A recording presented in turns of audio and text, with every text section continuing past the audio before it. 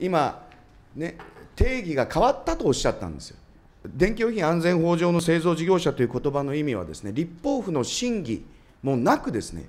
えー、行政府の都合で変わったということでありまして、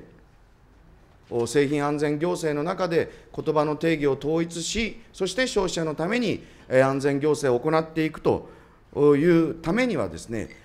可及的速やかにこの昭安法だけではなく、電気用品安全法についても見直しをすべきであるというふうに私は考えますが、